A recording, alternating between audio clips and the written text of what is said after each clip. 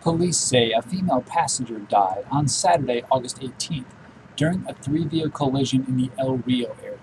According to troopers with the California Highway Patrol, 24 year old Rocio Hernandez was behind the wheel of a 1998 Honda Civic as it traveled north along California State Route 232, that's Vineyard Avenue. As Ms. Hernandez approached Central Avenue around 5:25 a.m., she observed a southbound 2008 Nissan Sentra veer into oncoming traffic. She was unable to avoid a collision with the Sentra, driven by 25-year-old Fillmore resident Fernando Ferrer. The impact caused Ms. Hernandez to spin out, and she was hit a second time by a northbound vehicle operated by 31-year-old Oxnard resident Irma Rodriguez. Investigators say Ms. Hernandez was trapped in the wreckage and transported to Ventura County Medical Center for treatment.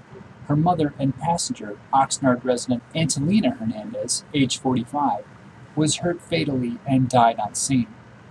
Paramedics took Ms. Rodriguez and Mr. Ferrer to Oxnard's St. John's Regional Medical Center for treatment.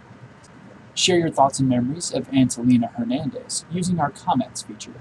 If you've been involved in an accident or you know someone who has, we're here to help. In many cases, we can provide you with a free copy of your police report. We can also put you in touch with nonprofit safety groups. We don't encourage or discourage lawsuits, but if you're considering hiring an attorney, we can recommend one in Southern California who can provide legal services at a reduced fee. Browse accidents or upload your own information using the Find My Accident application available for free in the App Store. Thanks for using Find My Accident. Safe travels.